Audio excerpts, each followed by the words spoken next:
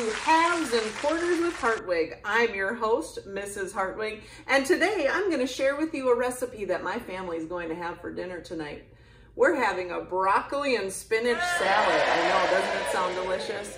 Don't worry, for all you carnivores, there's going to be some steak on it too.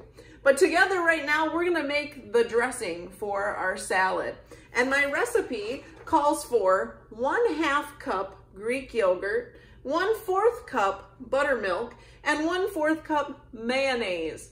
So if we can remember, one half means that there are two parts to the whole, and I'm only using one of those parts. So for my Greek yogurt, I need to find my measuring cup that matches my fraction.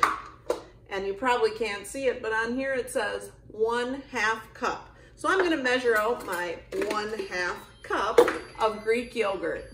So I've filled up my half cup with Greek yogurt and I'm gonna put it in my salad dressing container right here. And next, my next item is a liquid item. One fourth cup, one fourth cup of buttermilk.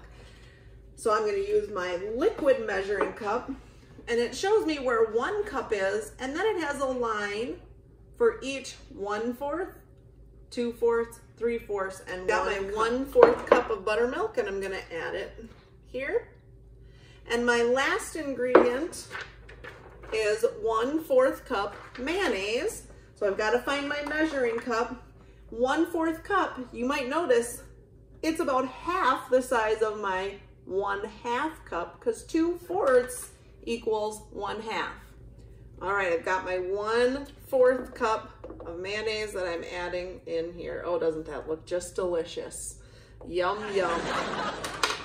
All right, now if we look closely, you might notice that it's filled up right to that one cup line. Why would that have happened? I only put in a half cup, a fourth cup, and a fourth cup. Because like I told you, one fourth is half of a half. So I ended up putting in one half plus one fourth would be three fourths plus one more fourth is four fourths, which equals one full cup. Now, I'll be right back with more exciting fractions after this message.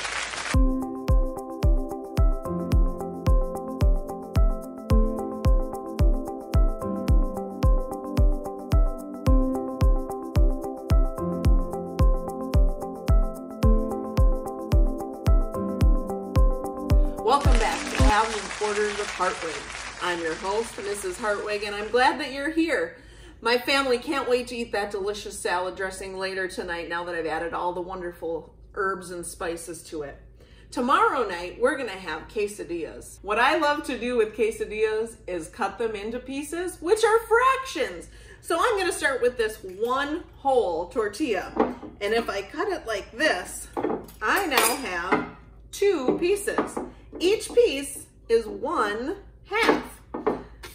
So it looks like this, one half. One is the numerator, two is called the denominator. The number on top is how many pieces you actually are holding, and the number on the bottom is all the pieces together. So right now I'm holding one half. Ooh, but let's get crazy. What if I cut it like this? I have one, two, three, four pieces all together. So my denominator is four. If I pick up this one piece, it is one out of the four, one fourth. Oh, oh, I know we're getting a little bit wild here, but we're gonna go one step further. What if I cut like this? now I have one, two, three, four, five, six, seven, eight pieces. So now my denominator becomes 8. And if I take this one piece, I, my numerator is 1. What if I take two pieces? Now I've got a fraction of 2 eighths. Looks like this. You might notice it also looks the same as when I had 1 fourth. What if I take two more pieces? Now I have one, two, three, four out of the eight, or four eighths. looks like this when I write it down. Also the same as one half. It's amazing. Fractions are so cool. I'm so glad you joined me today. We are about done and I can't wait to see you next time on my next episode of halves and yes, Sarah.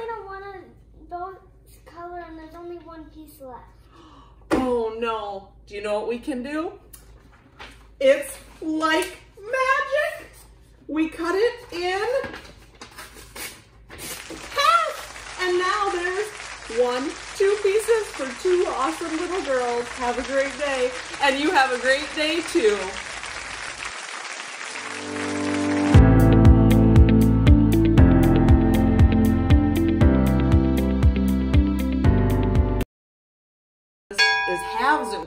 Quarters. It's so exciting.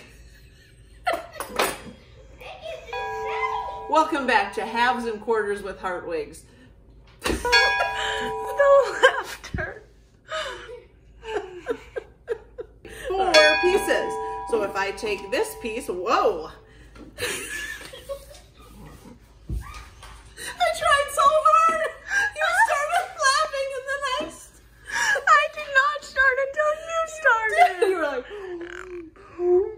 okay, that whoa will be a fun.